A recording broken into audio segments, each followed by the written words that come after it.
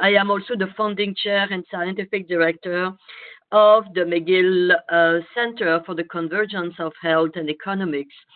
And uh, at the center, we have three lines of work, each attached to um, a distinct uh, webinar series. And today I am very pleased to welcome you to the Convergence Innovation webinar series, uh, which is essentially um, a series where uh, we bring the best of science as well as visionary uh, practitioner um, with the objective of innovating the way we innovate by bringing the power of AI and all the digital technology as well as a deep understanding of uh, human uh, systems and uh, business and society. Uh, the series is sponsored by uh, the first uh, convergence innovation platform created in 2016 in the agri-food space, the, the, Global Pulse Innovation Platform partner. And today I am very pleased to welcome Elias uh, Carayannis uh, that I will introduce now. Elias is a full professor of science, technology, and innovation, innovation and entrepreneurship at George Washington University. Uh, he is also the co-founder and co-director of the Global and Entrepreneurial Finance Research Institute, uh, um, and director of the Research in Science, Technology and Innovation, also at the EU Research Center. Uh, Elias is clearly one of the pioneers uh, in advancing the science of innovation to progressively develop models that not only started bridging uh, industry um, science, technology, uh, and uh, and uh, innovation in the first uh, layer of the triple helix, but progressively adding the much needed complexity of adding the social aspects, adding the environmental, and all of this uh, clearly powered by uh, digital technology and artificial intelligence. So we start today from Industry 4.0 to Industry 5.0, which is a bit uh, um, scary when many people are still struggling to go from Industry 1.0 to 4.0, but that makes the talk quite fascinating. He will be talking about uh, this transition in the context of the quintuple uh, innovation uh, helix framework, uh, which is of most interest for all of us uh, uh, regular and occasional participants to this series. So without further, in, oh, before I shift to Elias, a bit of a process. We work normally uh, with uh, uh, 40, 45 minutes presentation, and then we keep half an hour for uh, discussion or question. Uh, I think uh, Sabina will be muting all of you uh, during the presentation, and then uh, we'll be unmuting all of us for the discussion. You can also ask questions in the chat box that um, Sabina will be asking. so, Elias, welcome, and I'm shifting to you. All right. I'm very pleased and uh, happy to have this opportunity to talk to our audience today about some subjects that are very uh, near and dear to me and uh, I think of interest to all. Professor Dubé indeed was introduced to me by a common friend, a colleague of ours recently, and I appreciate the opportunity to engage with all of you. The um, subject is uh, of the presentation today is indeed looking at the evolution uh, of, of technology, but also uh, touches on issues that impact society, even democracy, and of course the environment and how they all interact. The Industry 4.0 paradigm, of course, is well known if not yet fully understood and implemented. And uh, the purpose of my presentation's title is to challenge our thoughts and ideas and imagination. The Industry 4.0 is more uh, of a machine-centric approach and architecture. The uh, 5.0 aims to be more balanced between machine-centric and actually with a bias for human-centric configurations. So we can ensure that eventually technology will be serving uh, humans and not the other way around and will be part of the solution and not the problem, whether it's fake news, social media disruptions, or other issues. And certainly, as it pertains to um, the issues uh, that I'll discuss uh, in the following slides that relate to what I call natural versus artificial scarcity and abundance that relates to food security and so forth. The Quintuple Innovation Helix framework uh, is a concept uh, we have developed with my uh, network of research partners over the last 10+ years. About 15 years ago, we introduced we are the one of those who introduced the Quadruple Innovation Helix context concept, out of which the Quintuple emerged. And of course, they're based, and they, I think, substantially extend and expand the Triple Helix concept, which is focusing on government, university, and industry as the pillars of knowledge economies and societies. We thought that it is important to emphasize the role, the presence, role, and influence of civil society, which is the fourth dimension. And then uh, the fifth dimension is the environment. Um, so let me uh, briefly uh, reflect on the abstract that is the frame of reference, conceptual frame of reference of our discussion today. Uh, there are several issues that I'll try to touch on, I'm assuming uh, certain uh, familiarity and literacy, in a sense, regarding these concepts with people happy to discuss in more detail as best I can. Hopefully, I'll add some value, and I will not simply be repeating known things to everybody.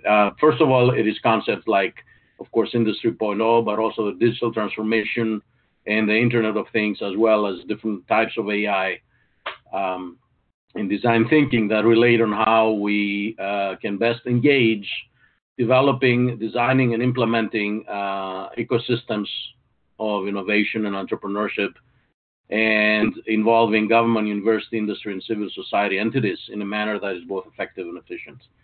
And of course, this uh, pivots substantially on technological artifacts, tools, and methodologies. Uh, so the issue of machine-centric versus human-centric approaches, the Industry 4.0 versus 5.0 is relevant.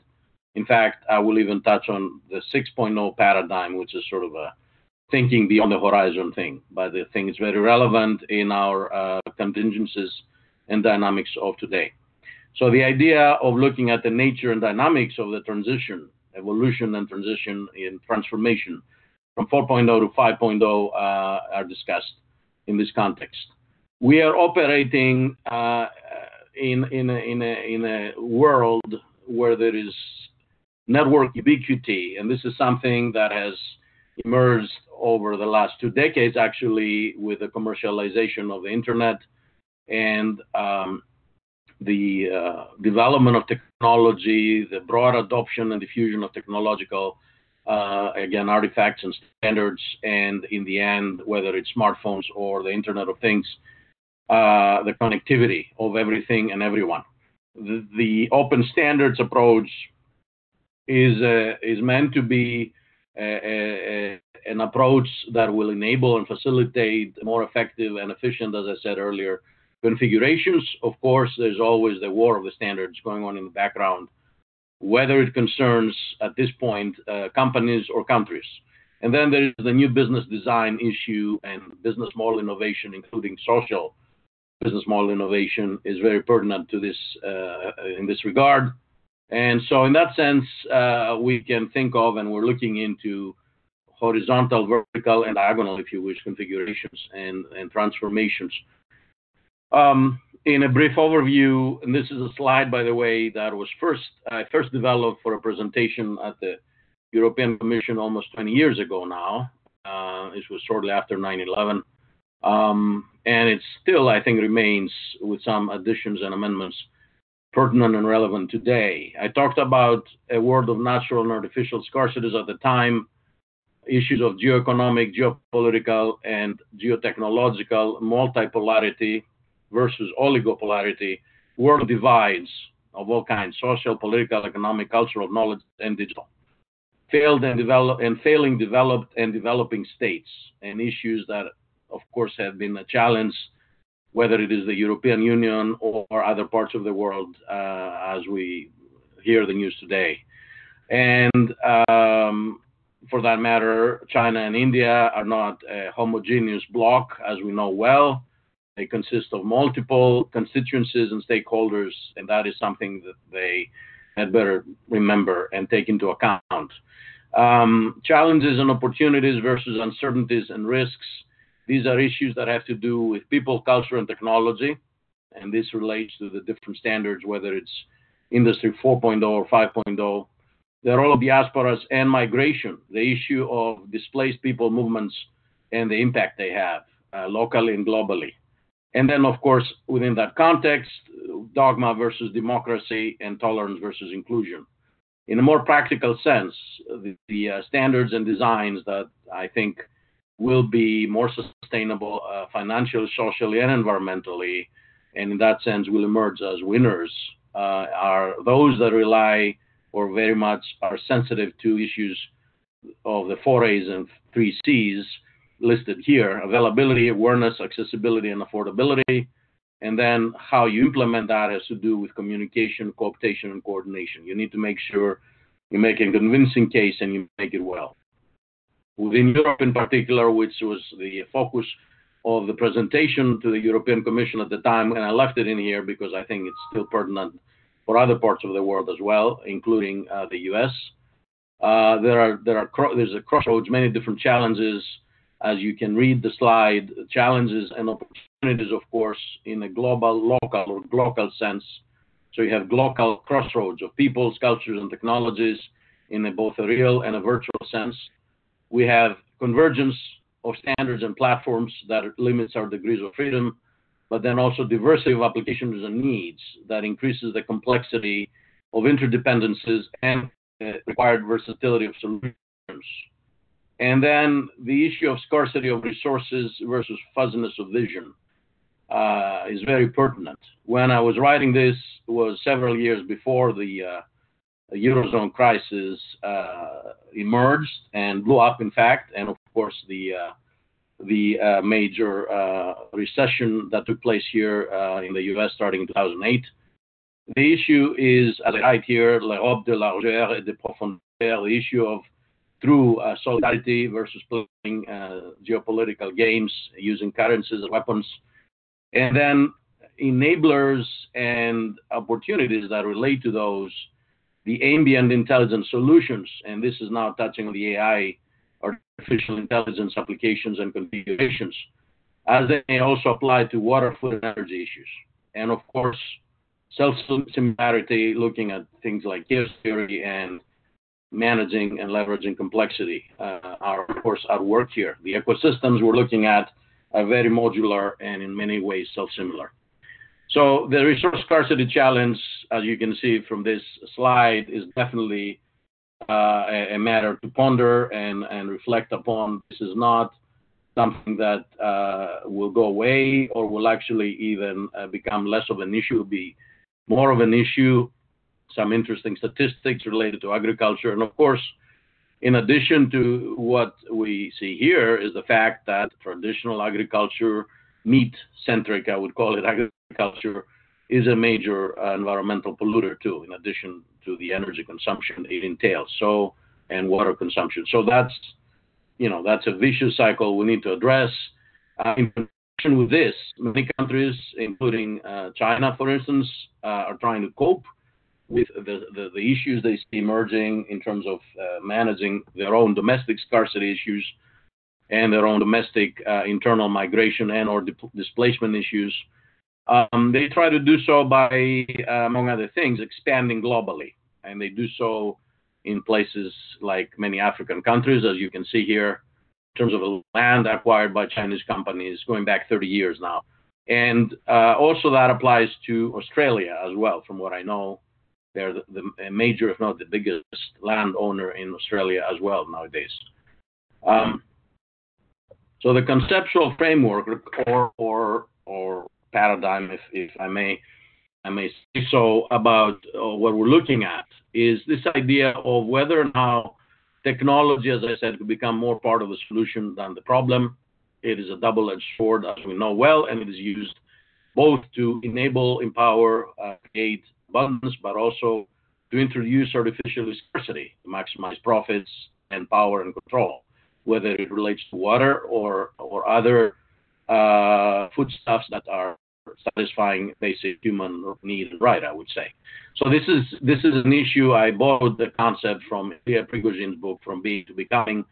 Uh, so here is from, about from socioeconomic being to techno-economic becoming in the era of cyber prosperity. So the implied or implicit questions here and challenges are whether and how we could leverage artificial technology and other technological modalities to move from the bottom left natural scarcity regimes to the top right artificial abundance. Um, I'm old enough to be, uh, you know, I guess a Star Trekkie, and I will always remember, and it always inspires me, uh, the uh, replicator concept, producing uh, artifacts, including food, on demand. Now, our 3D and 4D printing technologies and applications nowadays are getting very close to this, and drone and other technologies in terms of the delivery uh, uh, supply chain and infrastructure issues are also part of that, enabling um, modality, set of modalities, looking at innovation to understand how we can move through technology from uh, scarcity to abundance. It is about, you know, innovation is about enhancing the yield of resources via successful technology commercialization. So, uh, technology transfer and commercialization. In fact, the context within which that whole idea was first developed, and I was fortunate to be one of the, at the time, junior colleagues of Everett Rogers, one of the well-known seminal authors of technology transfer and commercialization. The technology transfer was conceived and first applied in the context of ag- agriculture. Innovation, for that matter, is a socio-economic, socio-technical, and socio-political phenomenon. That's important to remember in, in terms of its breadth and depth of impact and implications. Innovation is an uphill battle in most cases.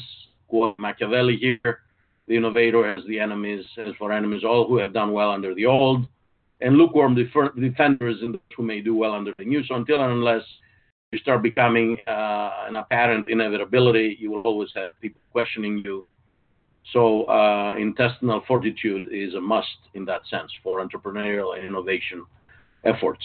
Uh, the open innovation paradigm uh, is shown here to highlight the potential and power of uh, driving innovation in an open manner. And we look at the innovation funnel concept here from the research to development and commercialization and the different elements or components of what that implies IP stands for intellectual property, by the way. And this is just uh, a schematic representing the different, uh, you know, the, production of basic, new knowledge, so basic research and development, all the way to its commercialization into uh, solutions, products, and services. Uh, we have worked on uh, modifying and evolving, I believe, and enhancing the concept of open innovation as we did with the triple helix. We worked on and we developed the concept of targeted open innovation and in the context of global, local, because I believe that this is really the true nature of open innovation. Openness is never uh, universally and um, uh, totally um, uh, open. It is more a matter of uh, targeted uh, approaches, whether it's about uh, technology and business strategy or national priorities. Um, going on to the quadruple helix innovation concept that I mentioned earlier, we see here how that comes into play and place. This is, by the way, a modality that has been widely adopted uh, in Europe, and it is being uh, uh, leveraged as a conceptual guideline and enabler of the design of actions, initiatives, programs, and and the production or development of solutions. The idea again is that you involve government, public sector, but also the academic and private sectors, along with civil society, in a rather uh, intertwined and engaged manner.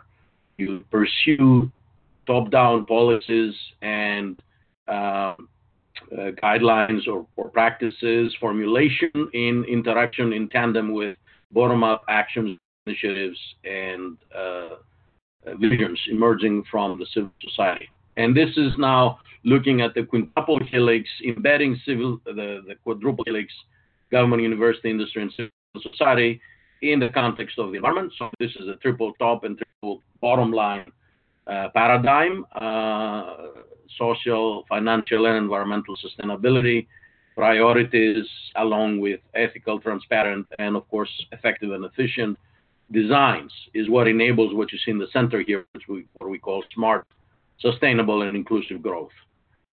Um, going on to uh, look at these concepts a little, in a little bit more detail, um, along with the quadruple and quintuple helix, we uh, have developed or, or conceptualized a, a, way to operationalize those uh, through a paradigm we call mode 3. Mode 3 is extending again and extending the mode 1 and mode 2 paradigms uh, more linear and slightly um, um, interactive uh, models of knowledge production systems.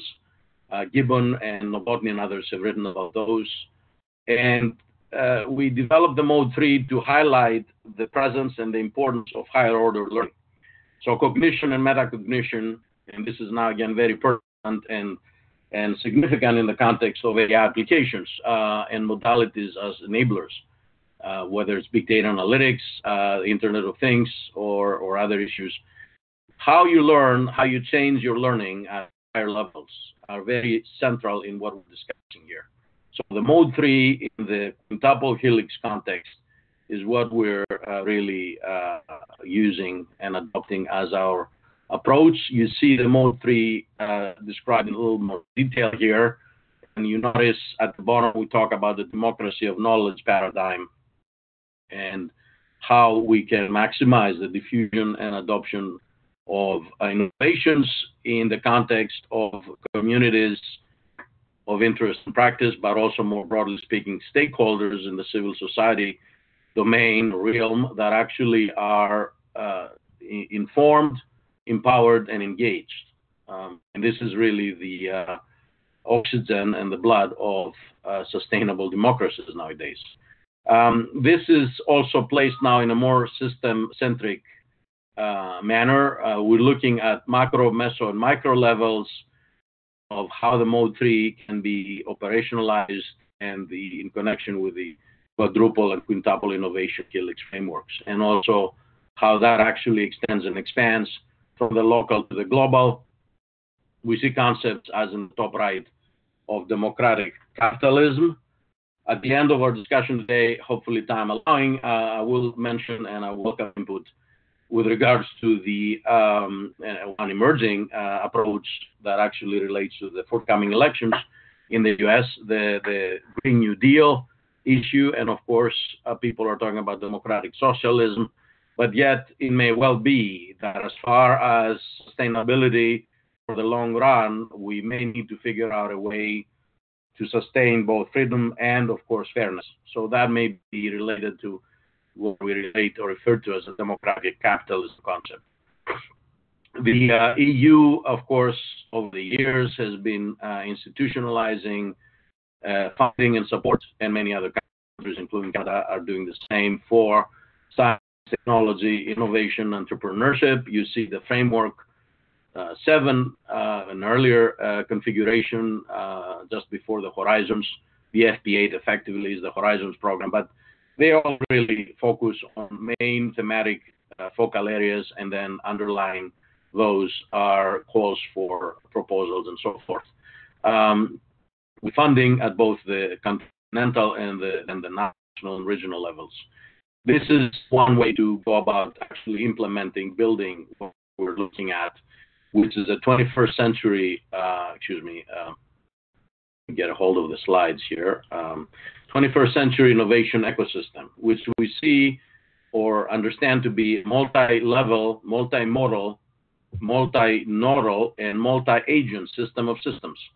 And this is that the idea is that here we have uh, networks of networks and clusters of clusters uh, of innovation knowledge, respectively, that actually operate, exist, form, emerge, and uh, mutate, if you wish, in uh, under conditions of co collaboration and competition for resources that are, if not scarce, are never sufficient.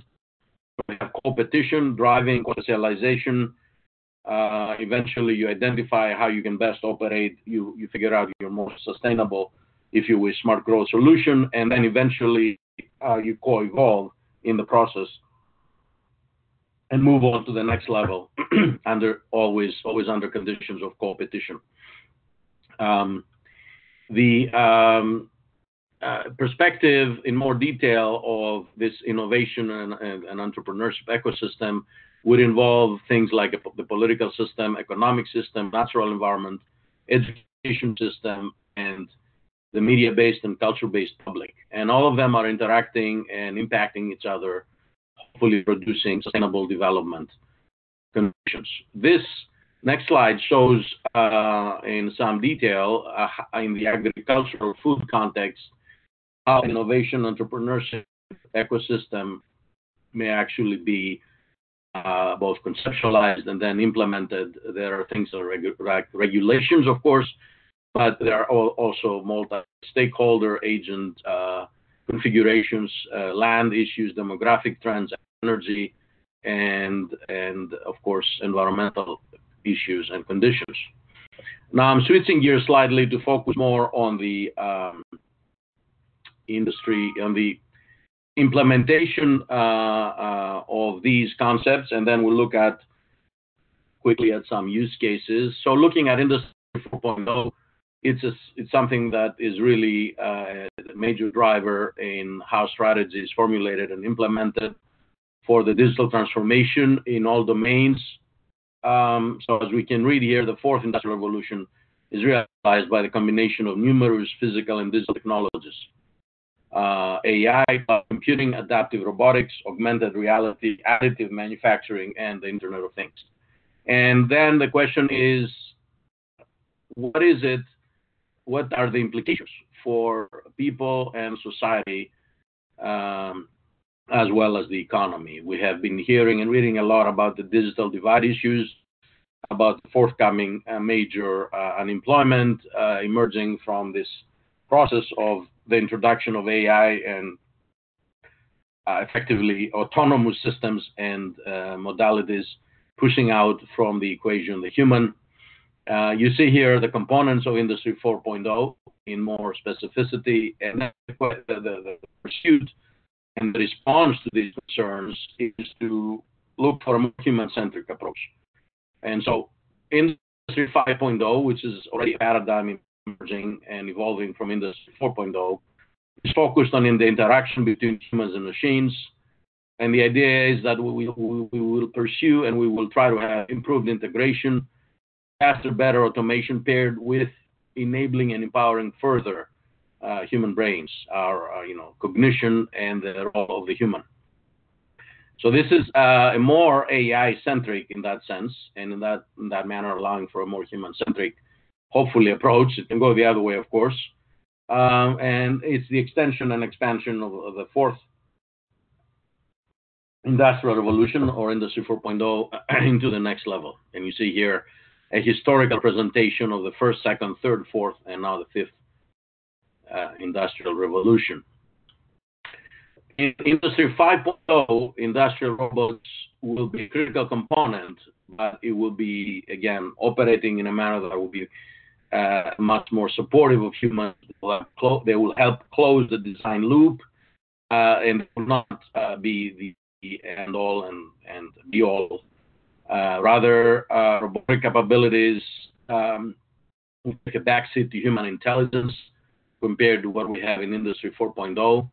Uh, and an interesting comparison or juxtaposition is looking at the uh, uh, different approaches to um, introducing and developing manufacturing uh, paradigms and standards. For many decades, in fact, companies tried to deal with their biggest, what they perceive to be their biggest expenditure factor or cost driver, meaning the human, by introducing more and more robots. Uh, what they have come to realize in many cases is that uh, beyond a certain point, it actually becomes increasingly self-defeating and uh, even dangerous. And uh, there is more of an approach to what we, we call, and in fact, we have an ongoing project on industrial innovation excellence and what we look at the next generation lean manufacturing, uh, combining craft and lean with intelligent manufacturing. This is really an, an example of an implementation of Industry 5.0. Uh, yeah, more, uh, some more detail on this paradigm, and there have been studies, as you can read in this slide, um, of what industry leaders expect and think about um, uh, Industry 5.0. It's about bringing the human touch back to manufacturing uh, and um, uh, moving beyond uh, just, again, machine centric smart factories to more human centric uh, intelligent environments. Um, so we're trying to make a contrast between smartness and intelligence in this regard.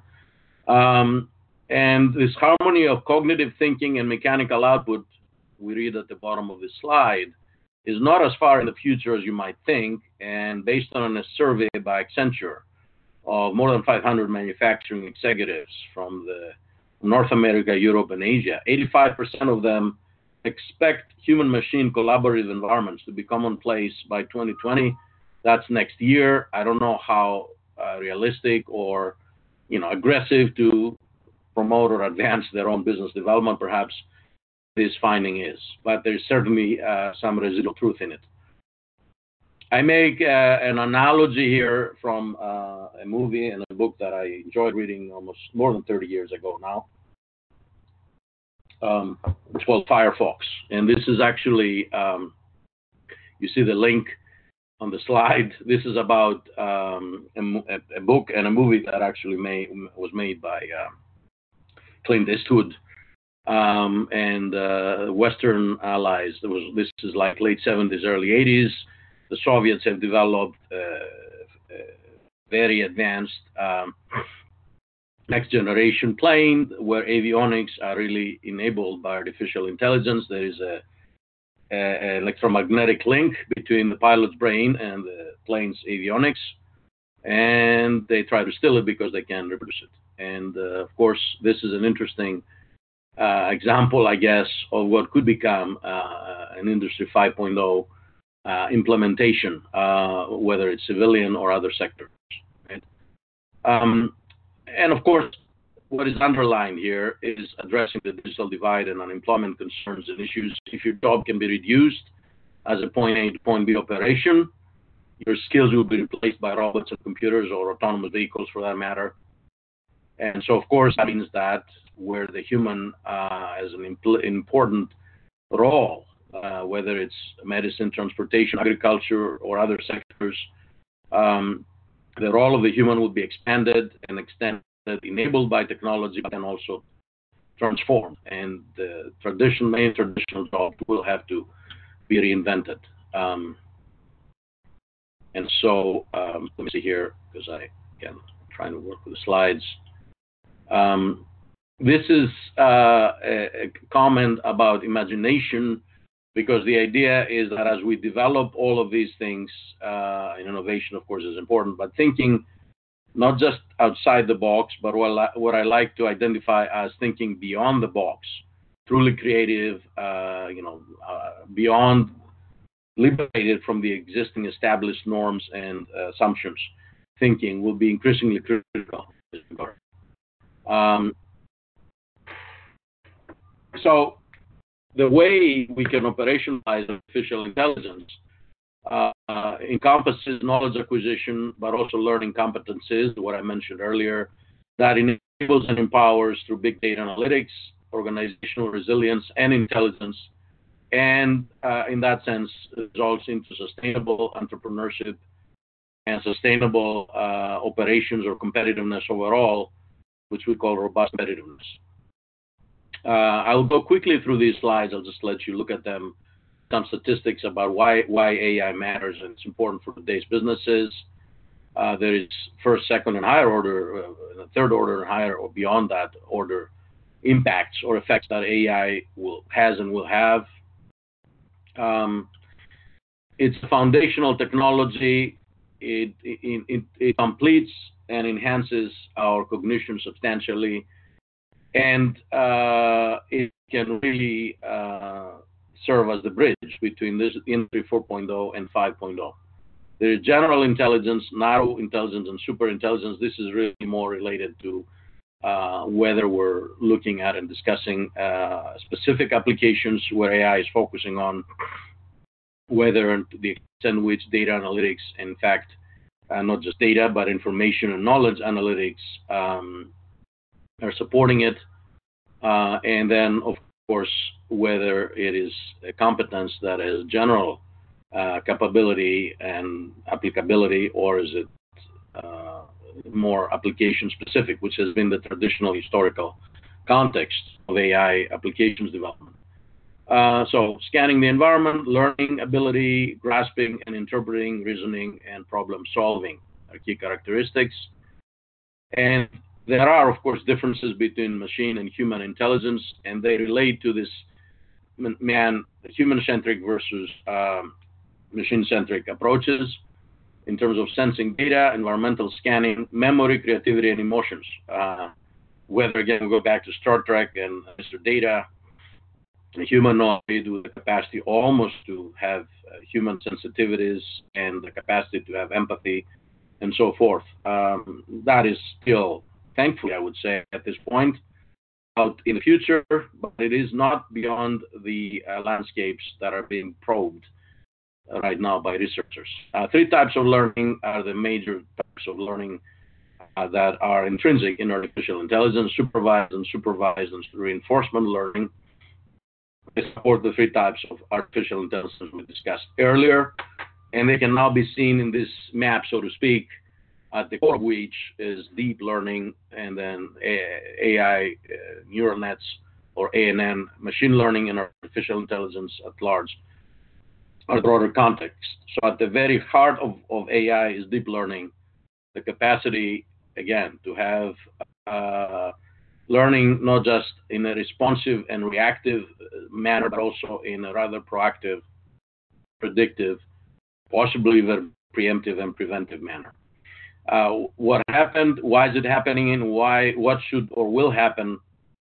Uh, these are the key questions that are uh, addressed with AI applications. Uh, th- these are fundamental to operating a business uh, from the very beginning, uh, I guess, of time, but now it's becoming, um, again, more of a human-centric and machine-centric com- combination uh, optimization and forecasting uh, applications are really part of this, uh, as you can see here. And then I'm going to go into use cases and try to address and discuss related contexts in the quintuple helix framework always. So government, university, industry, civil society, and the environment.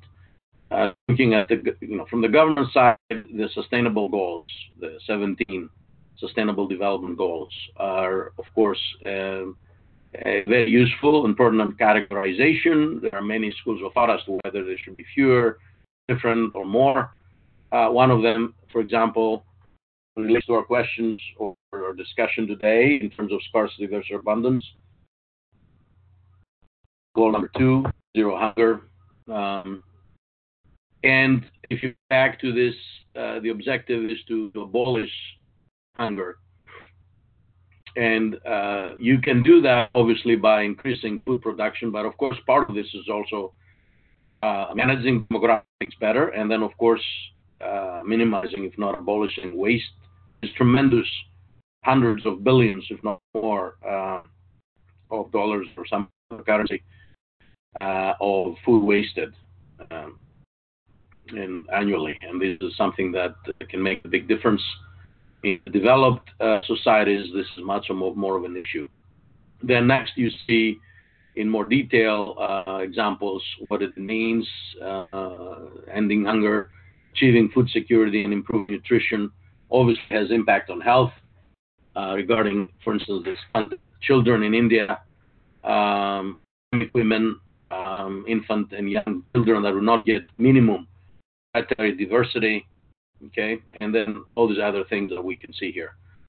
Um, so, uh, for example, if the food prices change and if they double, at the bottom right, you see an example of a what if scenario case.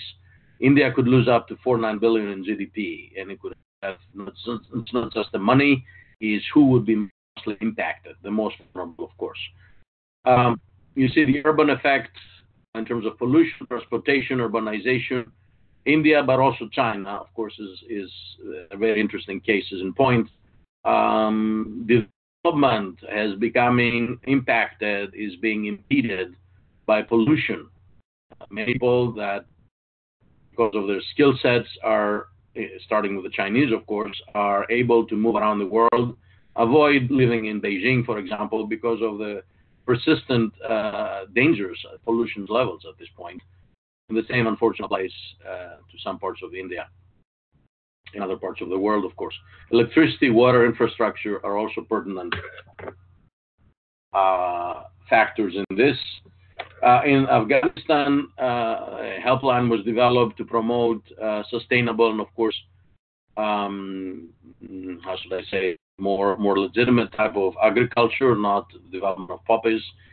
Uh, it was not very successful, and this is an underlying message here that we should be very much sensitive to people, culture, and technology issues and dynamics. We should be aware that you know, people are not uh, that people we're trying to help are not really uh, necessarily uh, the most uh, informed, educated, and uh, advanced potential users of the technology. So better designs and more humility would be appropriate in this regard. And this is in, inherent, in my mind, in the human-centric uh, approach. Uh, and of course, you see here what's happened over the years in terms of the opium production, which you see in the picture here.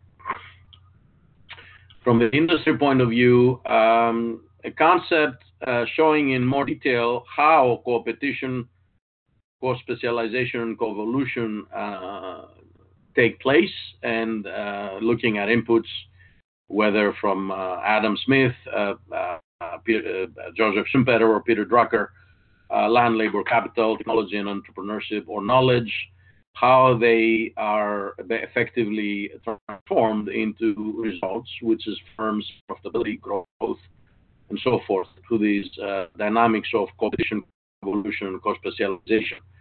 Um, this um, may be useful in looking at how technology companies, and we see a, a snapshot of that in the agricultural domain, um, use solutions like, for instance, precision agriculture and predictive analytics um, for management software, robotics, drones, uh, smart irrigation, and next generation farms to both uh, reduce pollution and wastage and enhance uh, efficacy, effective and efficient uh, production. At the same time, uh, things like the precautionary principle that relates to GMOs uh, and the use or not of those and, and how you deal with this is another example of technology uh, challenges, not just opportunities.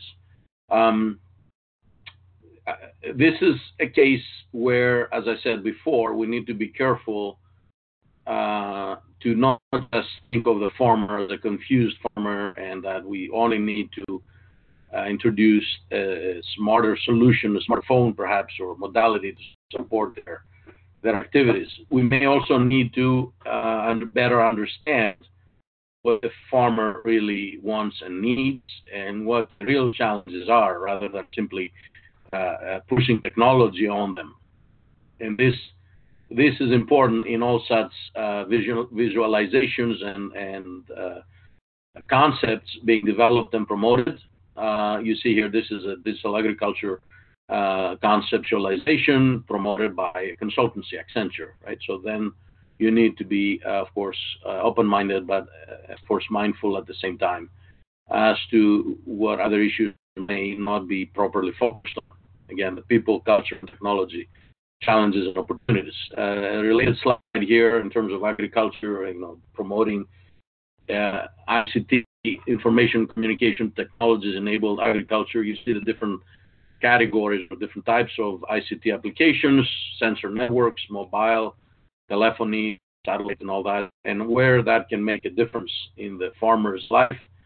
What we need to also be aware and cognizant of is that there uh, many intermediaries and many other interests, organized interests that, uh, again, operate on the scarcity versus abundance uh, modulation and regulation frontier, and they don't necessarily limited abundance. Uh, at the same time, from you know,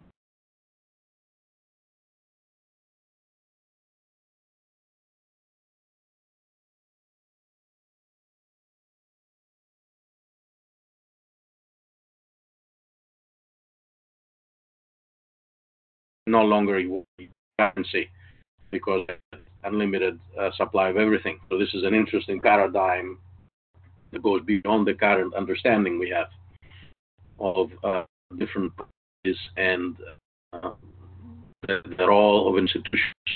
Uh, that matter, uh, cryptocurrencies is interesting again type of technology and blockchain of the blockchain paradigm that may uh, uh, provide abilities about challenges in this regard. Um, this is just to show this uh, uh, public-private research collaboration models, including uh, federal research institutes, universities, private companies, and how they form uh, cooperative research and development agreement to produce and share knowledge. This is looking at the mode three uh, knowledge production system and the different systems or systems it encompasses the political system, innovation system, education, academic, economic, and then R&D system uh, as well. And this, these are they're all connected. Um, this shows um, institutions is in the context our uh, discussion uh, agriculture. So the agriculture system and then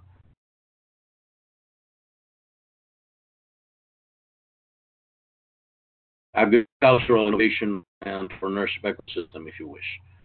Um, there's policies and investments and so forth. Uh, we looked at this, uh, we discussed or touched on this earlier in terms of the linear innovation modes versus the nonlinear innovation mode, and this is the mode three, uh, highly uh, nonlinear, uh, allowing for higher order learning, and the transformation, you know, thinking beyond the box, as I said earlier, and the transformation not just of the way of learning and innovating, but also of institutions involved in this. So we have um, a new new paradigms of universities, for instance, emerging for more uh, vertical uh, configured, vertically configured, and discipline centric to more research centered based and uh, important thematic areas that are that tend to be cross or even transdisciplinary uh, centric. So they're centered around, uh, for instance, uh, next generation agriculture technologies, but also um, modalities and, solutions, not just uh, disciplines. And this is this is an important uh, change in the context of universities. In civil, in, terms of civil society, um, we have uh, an understanding, and we show here how the different modes of knowledge production system and the different policies are connected and complementing and reinforcing each other, and how now we have supply and demand um, uh, balancing and convergence um, issues in the context of geopolitical relationships, political governance, uh, food, civil security, and, and, so forth. You have uh, issues that relate to both, again, scarcity as well as abundance, challenges and opportunities, and drivers of, of the conditions and, and the trends that may relate to environmental, demographic, or economic factors. Um, and you see, you saw here this multi-stakeholder configuration. Um, the vision and mission, again, a world in which all producers enjoy secure, sustainable livelihoods and fulfill their potential and decide their future. The mission will be connecting disadvantaged producers and consumers to promote fair trading conditions, conditions and empower producers to combat poverty, strengthen their position, and take more control over their lives. Um, so this is from the transformation, if you wish, of the agricultural uh, paradigm from a civil society point of view, and uh, fair trade uh, producing countries showing in color-coded manner here. And then here we look at different parts of the world and how uh, farming uh, in, in terms of uh, ICT enabled supported farming. Uh, fair trade farmers, workers, and fair trade certified plantations, and so forth can can be um, found around the world. What is the configuration and distribution of those? Um, so, for instance, in Latin America, you see uh, that fair trade is 21% of all farmers, production 10%, and 20% of total. Uh, and that compares, uh, interestingly, to Africa and the Middle East, where the numbers are much larger. Um, and the smallest numbers are in the Asia and the Pacific. So it's interesting how things are not necessarily as one might expect in this regard. And that's both a challenge and an opportunity. We're revisiting, uh, in terms of the environment, uh, the system that we looked at earlier in terms of the quintuple innovation helix framework and what it means in terms of climate smart agriculture, which is a concept that in a way reflects the quintuple innovation helix uh, approach. National food security and development goals in a in a climate smart sense, where sustainability uh, is implemented in a way uh, through uh, both producing productivity and income uh, enhancing resilience to climate change and variability, and reducing at the same time the impact of agriculture to climate change. For instance, methane production in uh, meat-centric agriculture. Uh, 45% cut in carbon emissions by 2030. So this is now the Green New Deal. Could keep global warming to sustainable level. Um, and there are some thoughts as to what to do in this regard. Of course, um, uh, this is something that is open, I think, to very uh, um, reasonable uh, types of criticism beyond the politics um, and issues. We need to find, uh, again, the most uh, appropriate solutions and approaches in this regard. In terms of the opinion, uh, public opinion survey on the Green New Deal, um, and this is now looking at this from a political point of view uh, as well as broader point of view. You see that the support rate is not very high, broadly speaking, and it's juxtaposed compared to uh, the border wall issue with Mexico to show you how people react to both of these. Uh, Democrats the Democratic Party voters in the U.S. are those who support this, of course, more than anybody else. Uh, the question is again uh, sustainability as well as the communication, cooperation, coordination issue that I raised earlier. It's formula- formulating, framing um, a solution that you propose that is really realistic and feasible. Uh, there's a very admirable, admirable uh, and inspiring even young lady from Sweden who's proposing, uh, is an environmental activist, proposing that we stop flying at all. Um, and of course, this is an interesting concept in, ter- in terms of reducing uh, ozone destroying uh, pollution in, in high atmosphere, but at the same time, it's not very realistic for most of us. So we need to figure out things that can be worked out.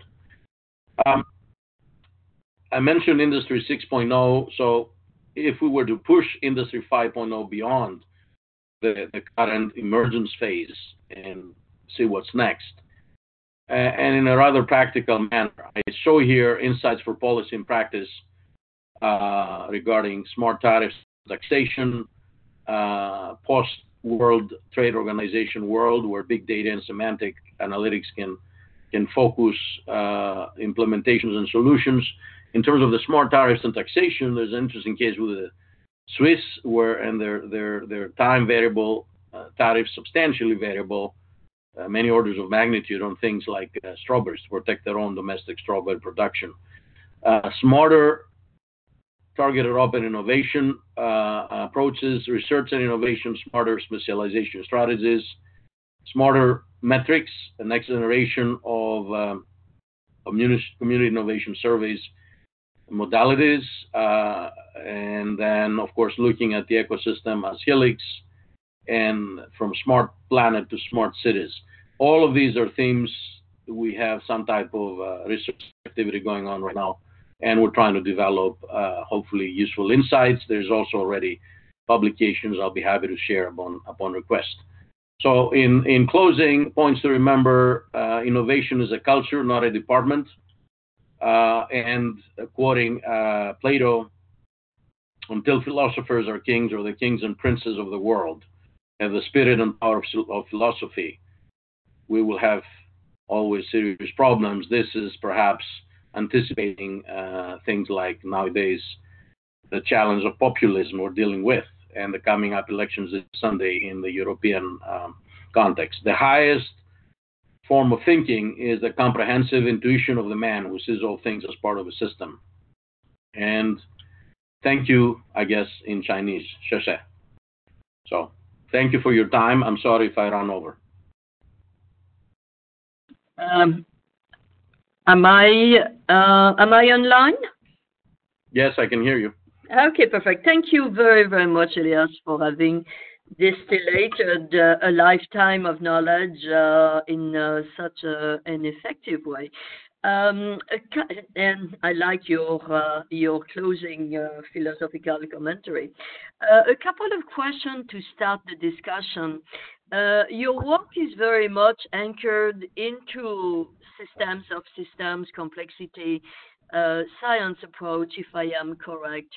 Um, and I would like to see if you can, can give us uh, a bit more detail on the underlying, whether it's computational or empirical or um, uh, uh, approach that underlie uh, your work at this, the, in this, uh, those innovation systems.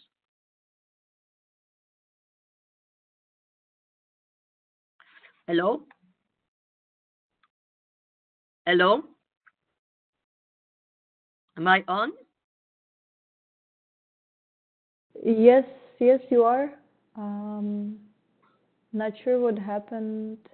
I think that uh, Dr. Carayannis lost his internet connection.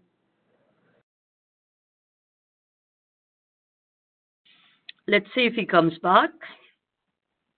The connection were really bad. Is on which side uh, is the uh, is the problem, Sabina? I cannot tell. It might be. Yes, hello. I can hear you now. Okay, that's good. Okay. Well, I, I missed the whole question, though. I'm afraid. Okay. Uh, so I was one thanking you for uh, such a nice integrative talk. Um, and I was um, uh, saying that if I am correct in looking at the a good number of your paper, uh, your approach is really uh, uh, taking the systems of systems approach in complexity and computational science. Um, and some of your paper, for instance, on uh, um, multi-goal optimization or multi-criteria decision making. Uh, so I was just wondering if you could educate us a bit in terms of the underlying uh, computational and analytical approach in the bulk of the work that you, you are doing or have been doing? Sure. Um, so basically, um, we uh, take uh, uh, we we adopt multiple approaches and and you know sort of mixed methods uh, because of the both of the complexity of the issues we're trying to address, and then also the biggest challenge is the um, either the scarcity or the um, um, uh, fragmentation of data and data sets. So what we do is we work with both qualitative and quantitative methods. We operate at uh, multiple levels, macro, meso, and micro. We therefore we may do case studies, we may do interviews and surveys. We also work with time series data, and we also work with simulation and intelligent agents uh, approaches where we try to discover what exists uh, as it can be uh, uh, captured and described by the data that we can access, and then also we try to see what could or should be and what could become. And this is going back to the being from being to becoming issue uh, with the uh, simulation and uh, optimization methods that we deploy to enhance our effectiveness and efficiency that is inherent in the ecosystems design we propose. So I hope I somewhat addressed that question. So your unit of uh, observation is really the ecosystem as a whole, uh, and trying to unravel the various uh, level and the various actor within each level, not necessarily observing country level innovation system. Am I correct? Well, yes, uh, but even even more specifically, we are looking at uh, uh, stakeholders in the form of, for instance, entities that may be public, looking across the spectrum of the quadruple helix, entities that may be companies, may be governmental uh, institutions or agencies, may be uh, NGOs and civil society. So we're looking at ecosystems as, as I said in the presentation, multimodal, multi-nodal, mm-hmm. many nodes, many stakeholder units mm-hmm. uh, combinations that operate in different ways. They have multiple connections and they all form effectively uh, a rather dynamic and complex uh, configuration, which is the ecosystem. Yes. Okay. Um, uh, I have uh, always more questions, but let's see if there is some question coming from the floor. You mm. just unmute yourself and you identified and ask your question. And also, if you could briefly provide some background, I mean, who who you are and where you're, uh, you know, what's your professional context. Is there a question from the ground? From the, the, the, the cyber floor, I should say? Uh, this is uh, Sandra. I'm uh, Sandra Schillo. I'm a um, professor at the University of Ottawa. Um, I do innovation entrepreneurship research. Thank you for yes. connecting me to Lorette, Sandra, first of all. Yes, well, well, thank you so much for this uh, presentation. I, if you can speak a bit louder, Sandra, that would be useful. Oh, even louder? Okay, I feel like I'm yelling already. Is this better? Yeah. Yes. Okay, good. Um, so very fascinating talk, and I, I, much appreciate your, your work overall. Um, anyways, there's like so much to dig into. Um, if I may just perhaps um, take one little piece of this. Um, so the um, which which would be the role of universities. Um, they're kind of central to the triple helix arrangements. Um, obviously, they're um, much less central because there's so many other very important players in the quadruple and quintuple helix. but I'm kind of wondering uh, where you see uh, universities playing in the um, in you know whether it's industry 5.0 or then even heading into 6.0 and part of the reason why i'm asking this is that um, I think uh, you're very much onto some very important trends, but I'm not really necessarily seeing them reflected in much of academic research. Obviously, on the technological side, there's work being done, but in terms of how universities functions and uh, function and contribute to yeah. the ecosystem, um, are we seeing enough adaptation and and maybe even leadership? I, I, got it. I got it. Thank you. And this is a great question. In fact, this is again going back to the uh, from being to becoming issue. All of the uh, institutions, as I mentioned in the presentation, along with their ways of interacting, are, are conceptualized as being both complex and dynamic, that is evolving and mutating, transforming. That includes the universities. Uh, and I'm saying this in the sense uh, or, or in, in terms of referring as to what they should be doing more than what they are doing. And I did mention that the emerging paradigm is one of um, not discipline centric uh, verticals or portals of universities, schools, and departments, but rather um, discipline centric. Uh, if you want to mute your, if you could mute your microphone, it would help. It would help, I think. Uh, rather discipline, rather thematic area centric. You know, uh, thinking of universities in a self-similar sense, in a fractal sense, where they consist of self-similar uh, units that may be research centers that transcend their transdisciplinary, and they're not necessarily part of a specific school or department only, but they're really, uh, you know, cross-cutting. And to the extent that, and you do have some universities, you know, top of the line uh, universities have become really um, much more uh, aligned with configuration. Um, uh, places like MIT and so forth. Uh, they really are much more a combination of, of research and development centers. And in fact, the role of the universities overall, actually, I consider it to be much more uh, significant and central in the uh, uh, quadruple and, and quintuple helix context than the triple. Why? Because the triple helix concept, and this is always has been my concern and motivation for introducing uh, the new complementary concepts, is that the triple helix, in a way, ennobles, uh, validates, recognizes top-down authority and power. Uh, and so, in the triple helix sense, frankly, uh, whether we like it or not, the main, uh, you know, the main node, so to speak, is the government with complementary substituting uh, to some extent, but certainly complementary roles uh, or nodes being the university and the industry. Uh, I think that the university is much more uh, central and substantial in its role and its um, configuration in in the uh, in in the quadruple helix because the university is where new knowledge, but also communication, cooptation, and coordination needs to come from, impacting and enabling civil society as well as government and industry to operate in a manner that is more uh, human centric and then, of course, also more sustainable. So that's the environmental uh, consideration.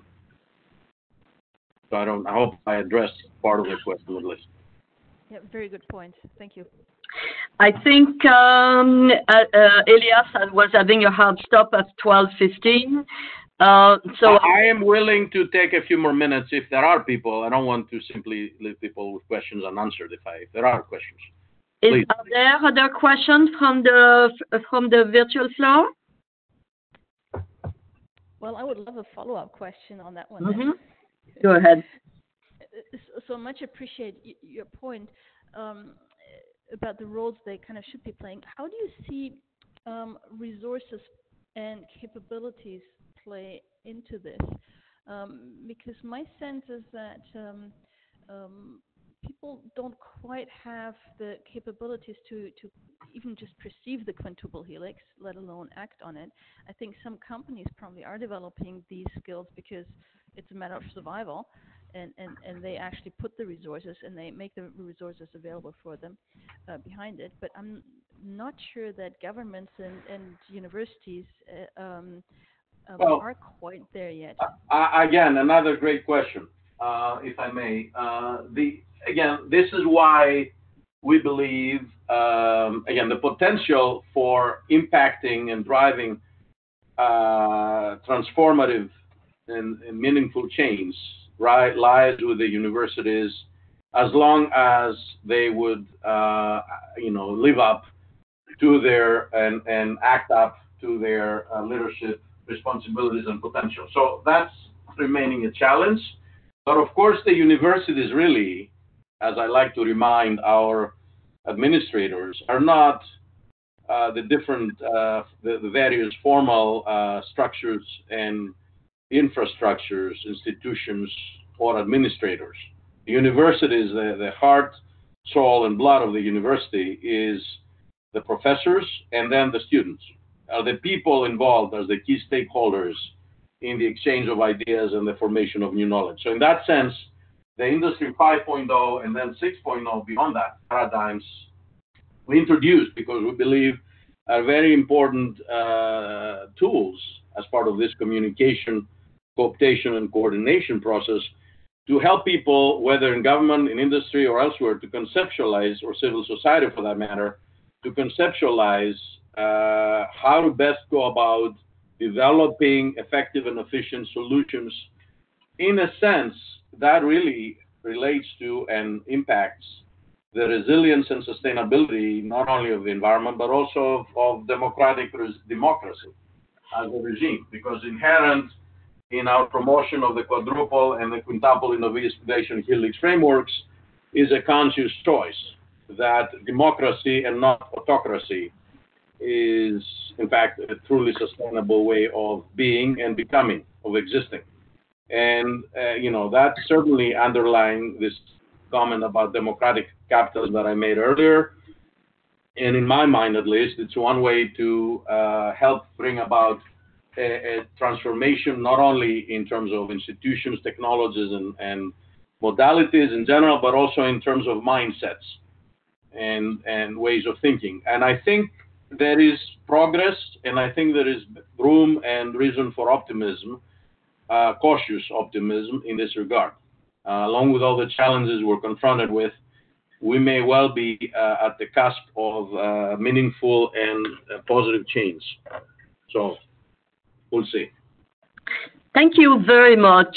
Um, and uh, I would uh, like to uh, end the webinar here. thank you very much, the participant. Thank you, Elias, for the wonderful presentation.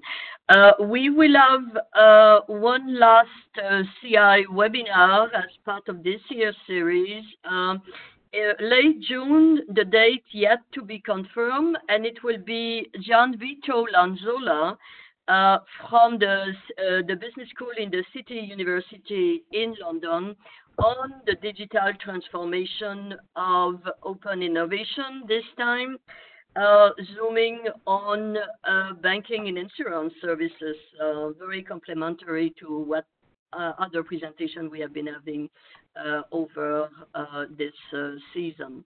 May I may I add something at the end? Yes, absolutely. thank you very much. This is a great initiative. I, as I have been reviewing and I'm becoming more familiar with what you've been doing, this is a very important um, uh, effort and initiative. And it's one way to actually operationalize what we've been discussing. Yeah. It's about communication, cooptation, coordination. It's about the democracy of knowledge. And hopefully you'll do more and more of those. And I'm happy to remain an active stakeholder. And again, thank you to Sandra and to you, of course, Loretta. Thank you to you and to everybody. Bye bye. Take care. Bye. Bye now. Bye. Thank you, Elias. Bye.